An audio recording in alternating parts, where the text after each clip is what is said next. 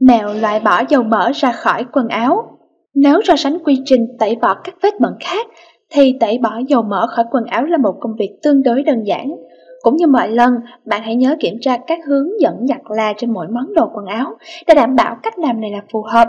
Nhớ tổ chức sản phẩm tẩy rửa trên một góc nhỏ và khuất như viền hay gấu áo quần để chắc chắn không làm phai màu quần áo của bạn.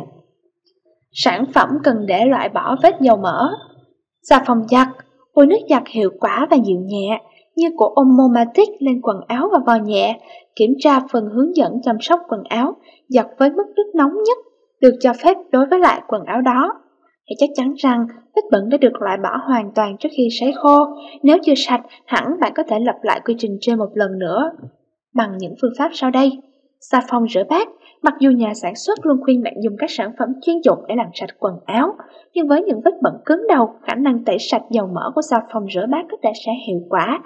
Đặc biệt, nếu bạn làm dây dầu ăn trong bếp lên quần áo và cần xử lý ngay lập tức, trải quần áo ra và đổ lên vết bẩn một ít nước rửa bát như nước rửa chén bát của Sip Passion Line.